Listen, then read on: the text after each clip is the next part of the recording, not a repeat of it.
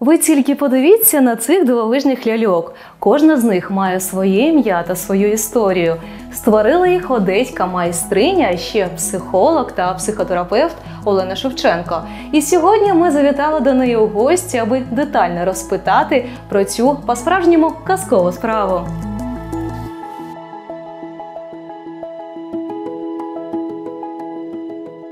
Я психолог, психотерапевт в методе позитивной психотерапии. Я член Всемирной ассоциации позитивных психотерапевтов и арт-терапевт. Это основная моя работа. И куклы – это мое хобби. Впервые я куклы увидела у своей сестры. Это было чуть больше года назад. Мне позвонила Лера Мушьянова, это наш детский кукольный мастер. Она говорит, Алена, ты должна это увидеть.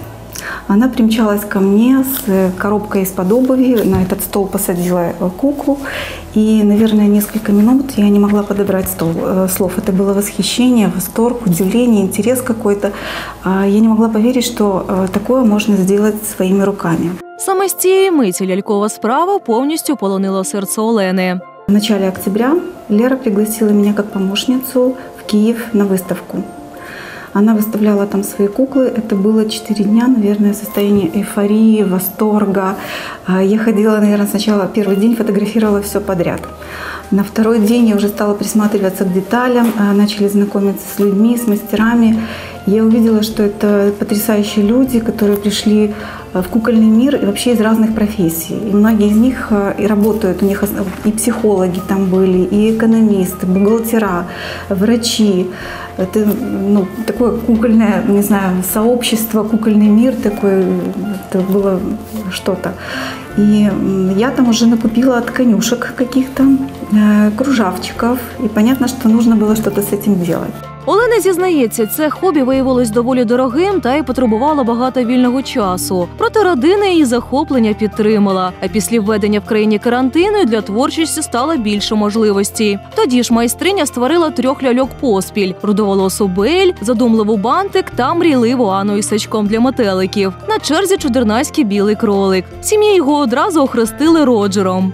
Изначально он задумывался как пасхальный кролик, но когда у меня по- появился аксессуар, его это часы, э, он стал у меня кроликом из Алисы в стране чудес. А вот часы, это настоящие часы, они будут, э, они идут, и он их будет вот так держать в руке, одним пальчиком показывает на время, потому что это кролик, который всегда спешил. Сейчас я работаю над его костюмом. А Если вы посмотрите сзади, пиджачок полностью, вот я сниму это жабо, он сшит, но пока не скреплен на спиночке. То есть его можно вот так разъединить и увидеть, что там э, внизу, да, под одеждой. Я пока вот так скрепляю его булавочками, а потом буду потайными шовчиками сшивать вот до разреза. Еще это будет все обшиваться кружевом.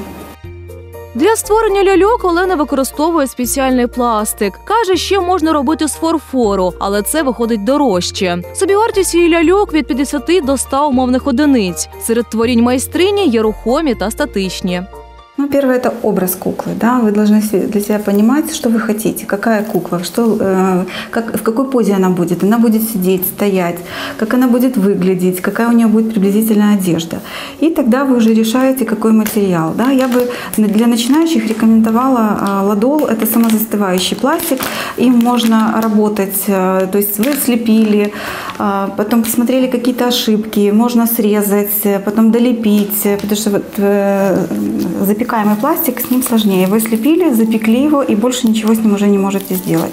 Я для себя вначале распечатывала вот такие 3D э, головы, да, и когда э, лепила голову, я просто перекладывала в разных ракурсах ее, чтобы она как-то совпадала с вот, э, вот этой моделью.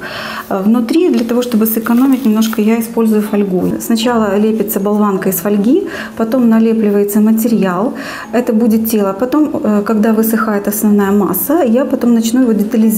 Вот будет тело ее, а сюда будет шея с этим шарниром. И вот этот шарнир потом будет вот так вот крепиться на резинке через дырочку в голове, и голова будет на вот этом шарнире двигаться в разные стороны. Вот такое вот соединение. Это специально сделано отверстие, снимается часть э, головы куклы для того, чтобы сформировать шар- шарнироприемник, а потом там будет дырка в нем и резинка закрепляется, и потом это все залепится, и сверху будут волосы, ничего видно не будет. Есть, допустим, э, шарнирное соединение здесь э, с тканевым, она двигается. А Здесь в области бедра у нее с- соединение, как у мишек Тедди, Э, там два диска и шплинты. Схема – это я работаю, вот, допустим, вот эта э, кукла, она сидячая. Я сначала делаю проволочный каркас, вот на этой схемке видно, да. Тоже можно в интернете распечатать себе такие схемочки, и проволока сматывается строительным скотчем, и сверху обматывается синтепон. Синтепон я режу такими полосочками, где-то сантиметр 3-4 э, в ширину, и обматываю это тело. Вот эта кукла, у нее пока головочка съемная, вот видите, как она одевается. И вот такая вот подставка внутри формируется, она закрывается штанишками. Это все нашитый синтепон. То есть она достаточно устойчивая, она не перевернется, когда она сидит. Окреме місце у роботі майстра займають інструменти та усілякі аксесуари для створення ляльок. Вот мой набор инструментов. Я, конечно, не все использую. А, Вот это самая волшебная деревянная палочка, которая нужна для работы с запека- с запекаемым пластиком. И вот этот стек. Это а, стек, я купила его, а, это медицинский, для стоматологов, а, продается в магазинах, это с круглой головочкой. И а, какие-то, а, вот, допустим, вот этот я купила в магазине, где продается инструмент для маникюра и педикюра. Кисти очень важно на этапе вот лепки и выглаживания. Ну, я использую в основном вот эту э, кисточку. Вы когда лепите, этой кисточкой выглаживаете аккуратненько те части, куда вы не можете залезть руками. Расписываю в основном пастель, э, акварель, акрил. И э, есть у меня наборы для дрейпинга. Это, э, для лица. То есть видите сосуды тоже прорисованные акриловой краской. Где-то видно эти сосудики, где-то их не видно. Такой создать эффект.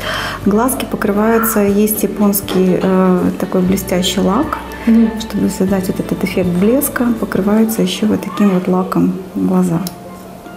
Я использую армированные нити, потому что я шью костюмы прямо на кукле, да, как я уже говорила. Эм, И армированная нить, она эм, прочнее, чем обычная, и она не так путается.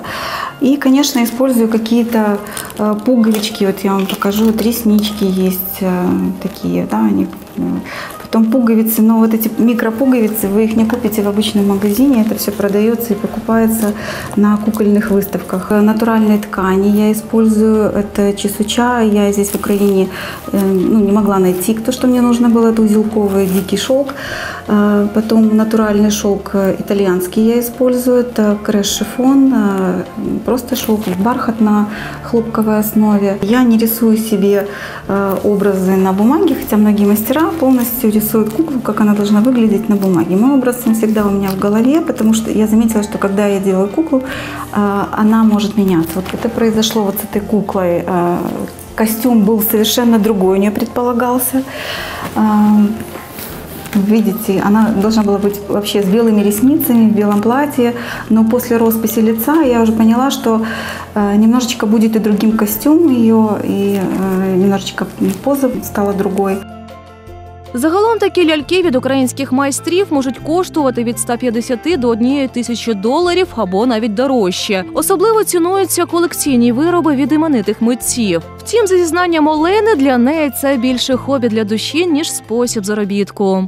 Кукла э, сегодня она является арт-объектом. Вы покупаете эту куклу для созерцания, Э, как картину. Это не игровая кукла. Що ж, особисто я у повному захваті від цих ляльок та всього процесу їх створення. Сподіваюсь, ця казкова атмосфера передалася і вам.